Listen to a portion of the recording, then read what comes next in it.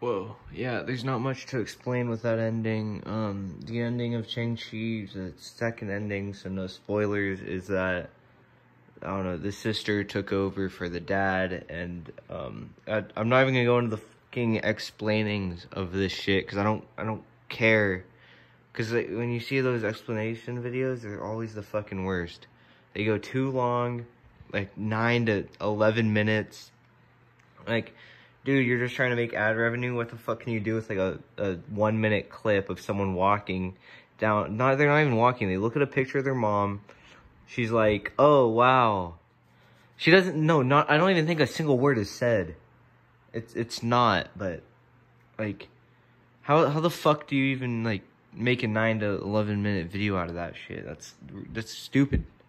Literally, it's no nothing. There's nothing important. It's like basically the old ways of training without any spoilers getting way. I mean, like, and this shit's not even like a spoiler. It's like women can't train to work, and woman can't practice to fight, so it's just all males. What the fuck ever? Who cares? But it's it's only girls now. I don't know, but there was like one guy that was training, so who knows? Maybe he's gay. He got like a pass or something, but um Nah, that's that's it. There's another Marvel. I don't know. There's a door, dude. It's fucking scary as shit in here.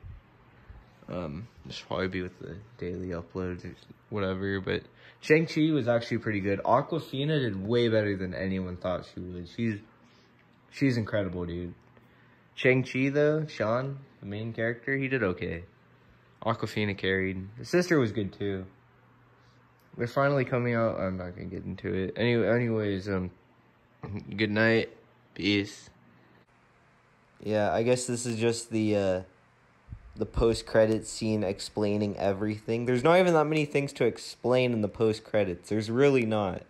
All that happens spoilers. Okay, spoilers. All that happens is that uh this guy, Doctor Strange's friend, I don't really know his name, but he's like, "Hey, we have to see the rings."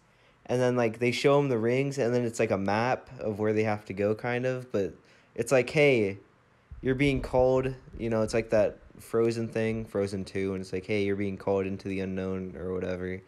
And then captain marvel she's there and before anything happens she's like okay this is super important i'm here you guys got me what the fuck are we talking about? Okay that's it i'm leaving bye before you guys have anything to say. Uh don't talk to me i'm fucking leaving. Boom she's gone and then it's hulk and he actually has something to say. It's not Hulk, it's Bruce Banner. But I guess we just call him Hulk now or Bruce Banner. But it's actually Bruce Banner. So Bruce Banner, he's like, okay, basically what they're doing, Shang, is uh, someone's calling us from your rings. And, you know, you trusting blind us blindly, not knowing who the fuck we are. Thank you for that. And then Doctor Strange's friend is like, yeah, someone's calling us. And then that's it. And then obviously the already one where she, they're in a dojo. The sister's training woman. What the fuck ever about that, but. That, that's really not important. I don't know how, what that had to do, but apparently these guys, hell, fucking watch these guys, dude. They made 11, 16 minute shit, 11 minutes. Like, what the fuck, dude? There's nothing to. I, I don't I don't, I don't fucking know. I need to stop ranting about these guys. Seriously, what the fuck are they doing?